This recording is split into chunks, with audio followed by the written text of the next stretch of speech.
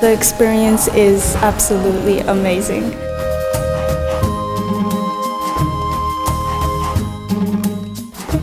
And I've heard Mr. Harrison's name uh, since he's been very famous in the United States. So when I saw his name, I was like, okay, then it might be a very interesting project to be in, and I'm glad that I am here eventually.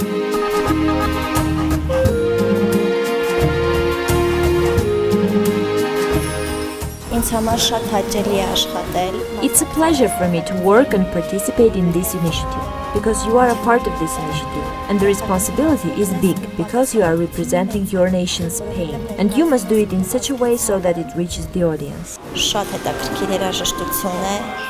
It is very interesting music and when you listen to the music you imagine yourself to be floating and you become disconnected from the earth, from the world.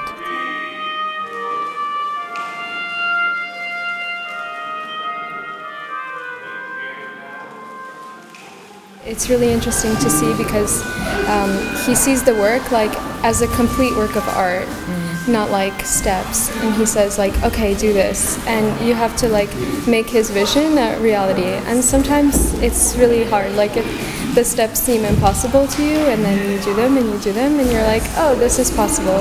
And I was thinking like that's the difference between like an artist and just someone who like makes steps.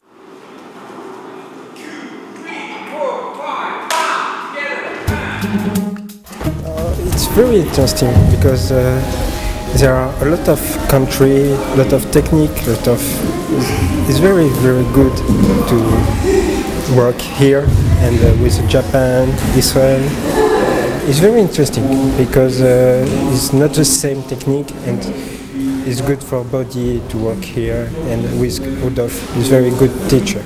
Uh, the experience is amazing, especially here it's really nice because the people are really kind, helpful, so I feel really friendly in this company.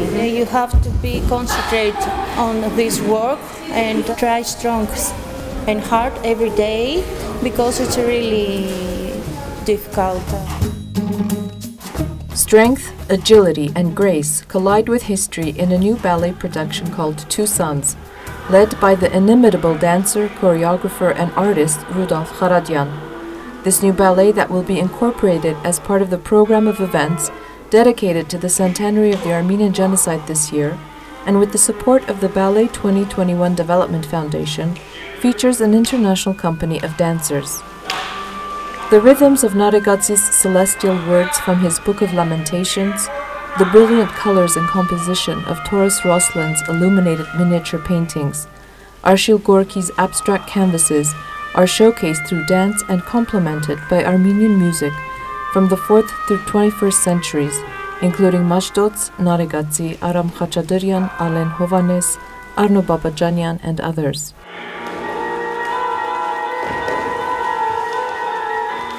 I started this project 40 years ago 40 years ago, four zero years ago, and uh, there was time when I was just dreaming about the Narekatsi. He became for me like the one whom you can follow all your life. In the Book of Lamentation, he talks about many secrets, and I was very thrilled to start something. And I was young and very uh, emotional and very eager to do something.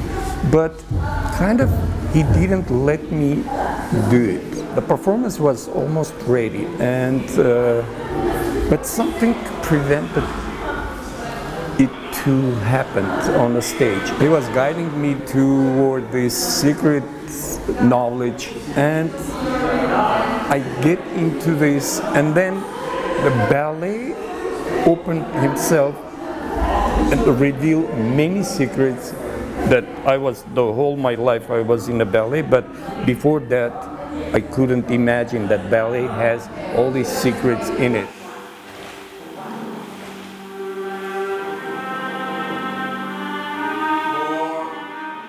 By fusing the past and the present, this unique production will present Armenia's creative legacy through the prism of the 21st century.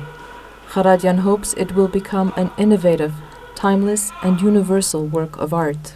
Second time I tried to do this in Washington when I was teaching and doing choreography there.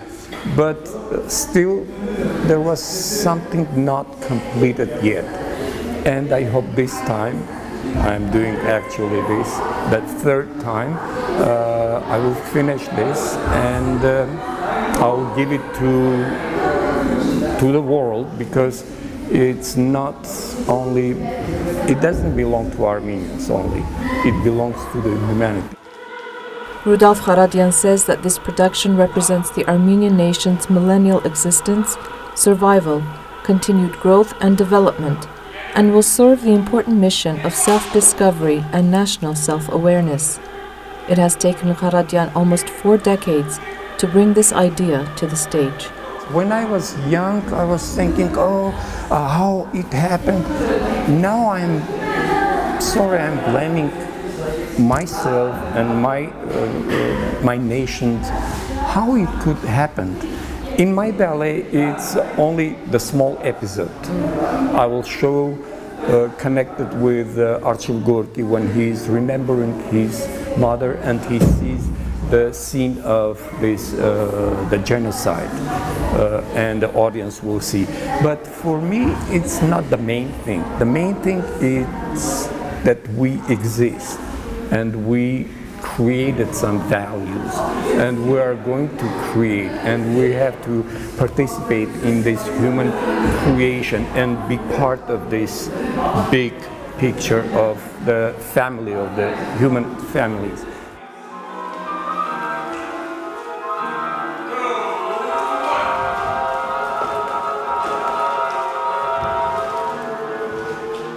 the genocide is just an episode in that long. But still, I'm wondering how it could happen. Why?